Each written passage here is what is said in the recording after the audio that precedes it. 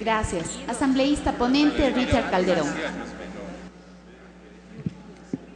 Señora Presidenta, compañeros asambleístas, en nombre de la Comisión eh, quisiera señalar los argumentos que han llevado a recomendar al Pleno de esta Asamblea el archivo de este proyecto de ley. En primer lugar, quiero señalar que la iniciativa del asambleísta Gabriel Rivera es positiva, es importante, en la medida que en efecto existe un vacío legal que, eh, solucione el problema cuando un una autoridad electa fallece y se da, por supuesto, la ausencia temporal o definitiva, en este caso definitiva. Y ha quedado evidente este vacío legal con el caso sucedido en Esmeraldas, en el cantón Muisne, con el alcalde electo Walker Vera Guerrero.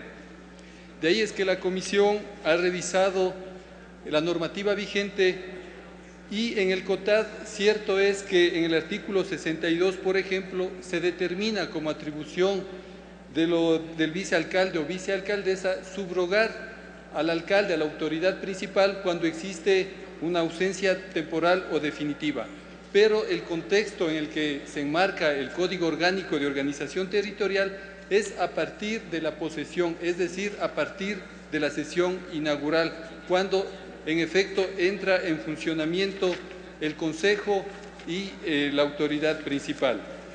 Revisando eh, la normativa que tiene relación con este aspecto, podemos notar que en la Ley Orgánica Electoral de Organizaciones Políticas, Código de la Democracia, tanto en el artículo 149 como en el artículo 167, se determina claramente que posesionados los candidatos o candidatas triunfantes en las elecciones, se considerará concluido el proceso electoral. Y luego, en el artículo 91, también en el inciso 3, nos dice este mismo cuerpo legal que los alcaldes, alcaldesas distritales y municipales, concejalas y concejales distritales y municipales se posesionarán y entrarán en funciones el 14 de mayo del año de su elección. Es decir, que se posesionan a partir del 14 de mayo en la sesión inaugural. Por lo tanto, el proceso electoral está vigente hasta esta posesión.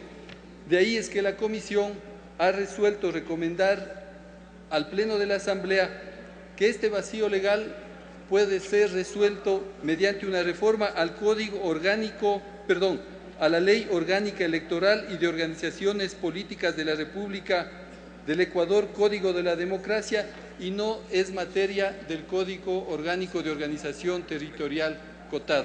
Por lo tanto, mociono al Pleno de la Asamblea el archivo de este proyecto de ley. Gracias.